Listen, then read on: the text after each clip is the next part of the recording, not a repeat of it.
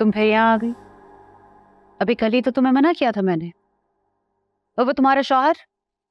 उस वक्त तो बड़े नखरे दिखा रहा था। अम्मी खुदा कसम मैं ना आती लेकिन मजबूरी है। शहजाद बेहद परेशान है।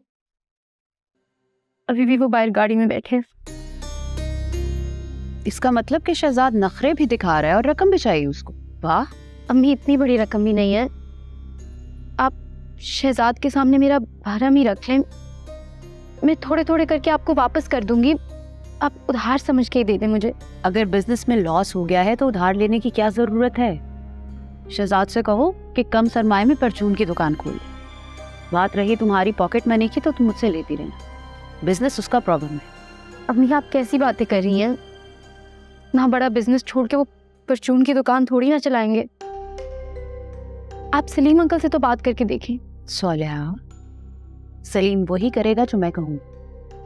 एक बार शहजाद को रकम फराहम कर दी तो सारी ज़िंदगी तकाजा करे। औकात में रहने दो उसे उसकी। पर अम्मी, एक पैसा नहीं दूँगी। ये बार बार अम्मी की गर्दान लगाना बंद करो। शहजाद को हाथ फैलाने दो इसी तरह। हमेशा गुलामी करेगा।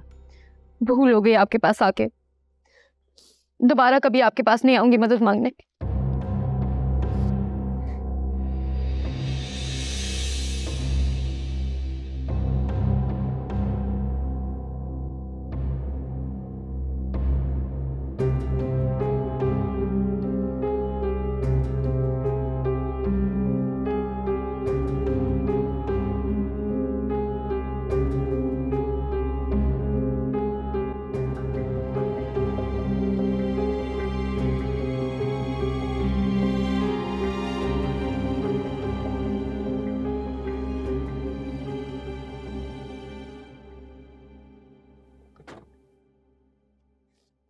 क्या हुआ? तुम तुम रो क्यों रही हो?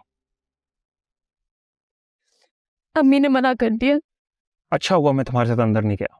वरना वो तमाम खाते तुम्हारी अम्मी के सामने रख देता तो शादी के लिए उन्होंने मुझसे इंटे थे शहजाद उन्होंने नहीं हिंटा आपसे कुछ। उनके पास सच में पैसे नहीं है। यार तुम अभी भी अम्मी की साइड ले रही हो। रवात वाला जो घर है वो इतने महँगे दामों बिक रहा है और तुम तीन बहनों का हिस्सा है ना उसमें? तो देती ना तुम्हारा हिस्सा तुम्हें। शहजाद क्योंकि उन्होंने वो घर बेच कर एक और घर खरीदा इसलिए। और वो वो अभी भी किराए पे दे दी है। खुद तो वो सलीम साहब के साथ रह रही होंगे घर पे। शहजाद प्लीज़ बस करें। तो यार मुझे क्यों ख्वाब दिखाती हो कि अम्मी पैसे ज़रूर देंगी? वैसे बहुत ही बेहिस हैं तुम्हारी अम्मी बस कर दे शहजाद। मैं आपके मुँह से अम्मी के बारे में और कुछ नहीं सुनना चाहती। चले हानिया के पास। चलो अब हानिया के पास भी चल लेते हैं। अम्मी ने तो मायूस कर दी है। जिसके पास सब कुछ था उसने कुछ नहीं दिया तो हानिया क्या देगी? तुम तो खाम खाई मुझे परेशान कर देती हो। क्या मतलब परेशान करके रख देती हूँ? आपके लिए जलील होती फिर रही हूँ मैं। कैसी बातें करते हैं आप? जलील करने वाले ना तुम्हारे अपने ही हैं। चलो कोई बात नहीं अब हानिया का शौक भी पूरा कर लेते हैं। ठीक है?